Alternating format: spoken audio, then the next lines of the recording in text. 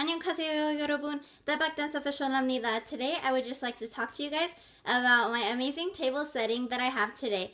As you can see, I have a bowl of rice and a bowl of soup. Although, if you cannot tell, the soup is actually myeokguk, which is a seaweed soup, and this kind of soup is usually eaten on birthdays, and it's a tradition to do that.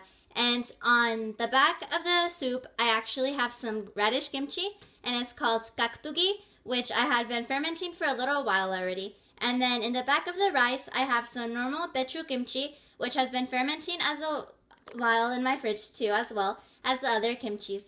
Now, if you guys would like to see a mukbang or like me making this, I can show you guys. So just let me know down in the comments below. And this is actually for my Daebak Eat series, and I hope you guys have been enjoying it so far. And there's more coming here soon, and it is just amazing being able to film amazing foods.